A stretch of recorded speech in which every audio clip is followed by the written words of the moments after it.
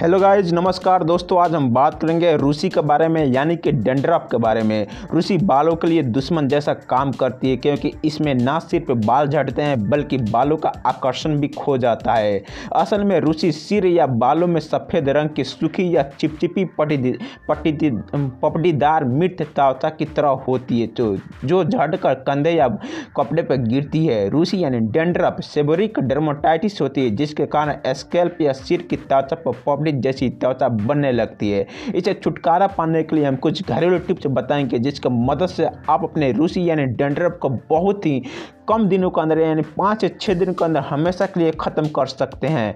आइए जानते हैं कौन से टिप्स अपनाने से आपका रूसी हमेशा के लिए ख़त्म हो जाएगा। दोस्तों, अभी तक मेरा चैनल सब्सक्राइब नहीं किए हैं तो मेरे चैनल को सब्सक्राइब ज़रूर कर लें, क्योंकि ऐसा ही वीडियो हम आप तक लाते हैं जिसका किसी भी प्रकार का साइड इफ़ेक्ट नहीं होता है और हंड्रेड परसेंट आपको वर्क करता है और आपको नीम नीम नेचुरल एंटीसेप्टिक होता है। बालू की समस्या से निपटने के लिए हज़ारों साल से इसका इस्तेमाल होता रहा है। डेंड्रफ की समस्या होने पर नीम के पत्तियों को पानी में डालकर उबाल ले, बाद में पत्तियों को पीसकर गाढ़ा पेस्ट बना ले।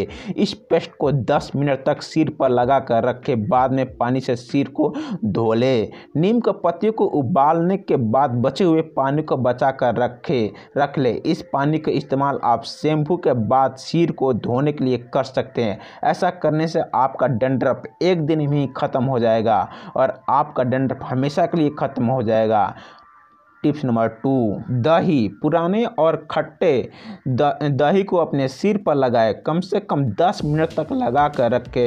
बेहतर होगा कि कम से कम 30 मिनट तक लगा कर रखे। बाद में सिर को पानी से धो ले।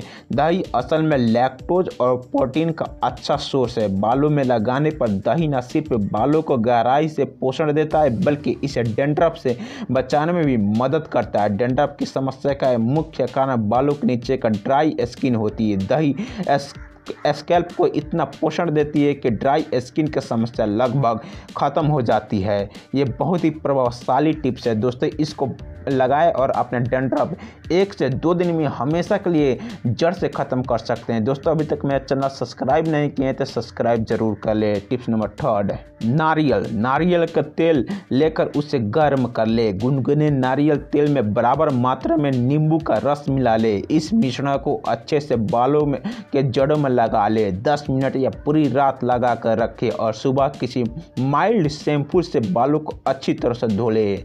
नारियल का तेल में लॉरिक एसिड पाया जाता है। ये एसिड बालों के रेशे को सहारे स्कैल्प के नीचे जाकर बालों के जड़ों तक पोषण देता है। इसके अलावा नींबू स्कैल्प को पीएच लेवल को मोटे मेंटेन मेंटेन करने में मदद करता है। नींबू के इस्तेमाल से स्कैल्प पर जमा एक्स्ट्रा सीबम भी हटाया जा सकता है। ये बहुत ही प्रभावशाली है। दोस्तों, इसको उपयोग ज़रूर करें। आपका डेंड्रफ एक दिन में ही खत्म हो जाएगा। Tips number fourth. Baking soda. Baking soda का उपयोग सिर को सबसे पहले अच्छी तरह से धो ले। इसके बाद एक चम्मच बेकिंग सोडा का पूरे सिर पर अच्छे तरह से मले। सिर को एक मिनट तक, मिनट के लिए छोड़ दे और बाद में धो ले। ये करने से बहुत ही जल्दी आपका डंड्रफ ख़त्म हो जाएगा। दोस्तों, इस बेकिंग सोडा का आपको सप्ताह में दो ही बार करना है और वो भी एक मिनट के लिए। उसके बाद अपने सिर को अच्छे से धो लें। ये बहुत ही प्रभावशाली है। आप, आपका डंडर खत्म हो जाएगा। दोस्तों, मेरा चैनल को सब्सक्राइब ज़रूर करें क्योंकि ऐसा ही वीडियो हम आप तक लाते हैं। Thanks for watching